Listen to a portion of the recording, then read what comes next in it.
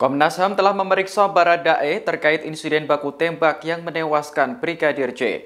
Selama diperiksa, Baradae menjelaskan banyak informasi soal penembakan yang ia lakukan.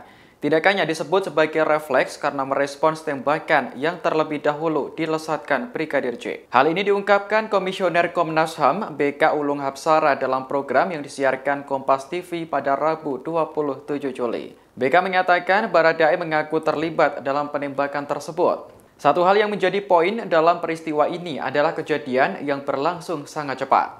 Oleh karena itu, Baradae disebut refleks menembak Brigadir J yang sebelumnya sudah melesatkan tembakan terlebih dahulu. Namun, BK menegaskan bahwa keterangan itu baru pengakuan Baradae. Terkait kesimpulan perkara, pihaknya masih perlu melakukan pendalaman. Dikutip dari Kompas.com, Komnas HAM juga berencana memanggil Kadif Propam nonaktif Irjen Verdi Sambo dan istrinya Putri Chandrawati. BK menuturkan pemeriksaan terhadap Irjen Sambo pasti akan dilakukan.